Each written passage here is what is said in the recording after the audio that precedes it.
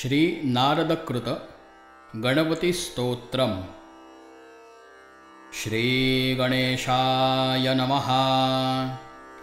प्रणम्य शिरसा देवम्। प्रणम्य शिरसा देवम्। गौरीपुत्रं विनायकम्। गौरीपुत्रं विनायकम् भक्तावासौ स्मरेन्नित्यम्। भक्तावासौ स्मरेन्नित्यम्। आयुः कामार्थसिद्धये। आयुः कामार्थसिद्धये। प्रथमौ वक्रतुण्डं च प्रथमौ वक्रतुण्डं च एकदन्तं द्वितीयकम् एकदन्तं द्वितीयकम् तृतीयं कृष्णपिङ्गाक्षम् तृतीयं कृष्णपिङ्गाक्षम् गजवक्त्रं चतुर्थकम् गजवक्त्रं चतुर्थकम्। लम्बोदरं पञ्चमं च लम्बोदरं पञ्चमञ्च। षष्ठं विकटमेव च। षष्ठं विकटमेव च। सप्तमं विघ्नराजेन्द्रम्। सप्तमौ विघ्नराजेन्द्रम् धूम्रवर्णं तथाष्टमम्। धूम्रवर्णं तथाष्टमम्।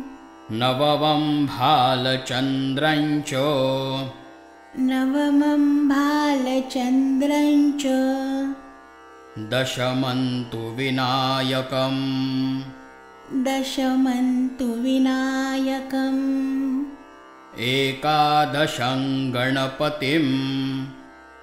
एकादशं गणपतिम्। द्वादशं तु गजाननम्। द्वादशं तु गजाननम्। द्वादशैतानि नामानि। द्वादशैतानि नामानि। त्रिसन्ध्यय्यः पठेन्नरः। त्रिसन्ध्यय्यः पठेन्नरः। न च विघ्नभयन्तस्य। न च विघ्नभयन्तस्य। सर्वसिद्धिकरप्रभो। सर्वसिद्धिकरप्रभो। विद्यार्थी लभते विद्याम् विद्यार्थी लभते विद्याम् धनार्थी लभते धनम्। धनार्थी लभते धनम्। पुत्रार्थी लभते पुत्रान्। पुत्रार्थी लभते पुत्रान्। मोक्षार्थी लभते गतिम् मोक्षार्थी लभते गतिम्। जपेद्गणपतिस्तोत्रम्। जपेद्गणपतिस्तोत्रम्। षड्भिर्मासैः फलल्लभेत। षड्भिर्मासैः फलल्लभेत संवत्सरेण सिद्धिं च संवत्सरेण सिद्धिं च लभते नात्र संशयः। लभते नात्र संशयः। अष्टभ्यो ब्राह्मणेभ्यश्च। अष्टभ्यो ब्राह्मणेभ्यश्च लिखित्वा याः समर्पयेत्। लिखित्वा या समर्पयेत्। तस्य विद्या भवेत् सर्वा। तस्य विद्या भवेत् सर्वा। गणेशस्य प्रसादतः। गणेशस्य प्रसादतः। इति श्रीनारदपुराणे।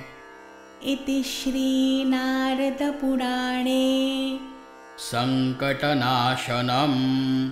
सङ्कटनाशनम्। श्रीमहागणपतिस्तोत्रम्। श्रीमहागणपतिस्तोत्रम् सम्पूर्णम्। सम्पूर्णम्। श्रीगजाननार्पणमस्तु। श्रीगजाननार्पणमस्तु। श्रीनारदकृत गणपतिस्तोत्रम् श्रीगणेशाय नमः। प्रणम्य शिरसा देवं गौरीपुत्रं विनायकं भक्तावासौ स्मरेन्नित्यम्। आयुः कामार्थसिद्धये। प्रथमौ वक्रतुण्डं च एकदन्तं द्वितीयकं तृतीयं कृष्णपिङ्गाक्षं गजवक्त्रं चतुर्थकं लम्बोदरं पञ्चमं च षष्ठं विकटमेव च सप्तमौ विघ्नराजेन्द्रं धूम्रवर्णं तथाष्टमं नवमं भालचन्द्रं च दशमं तु विनायकम् एकादशं गणपतिं द्वादशं तु गजाननम् द्वादशैतानि नामानि त्रिसन्ध्यय्यः पठेन्नरः। न च विघ्नभयन्तस्य। सर्वसिद्धिकरप्रभो। विद्यार्थी लभते विद्यां। धनार्थी लभते धनम् पुत्रार्थी लभते पुत्रान्। मोक्षार्थी लभते गतिं जपेद्गणपतिस्तोत्रं षड्भिर्मासैः फलल्लभेत संवत्सरेण सिद्धिं च लभते नात्र संशयः। अष्टभ्यो ब्राह्मणेभ्यश्च लिखित्वा याः समर्पयेत्। तस्य विद्या भवेत् सर्वा। गणेशस्य प्रसादतः। इति श्रीनारदपुराणे सङ्कटनाशनं श्रीमहागणपतिस्तोत्रम् सम्पूर्णम्। श्रीगजाननार्पणमस्तु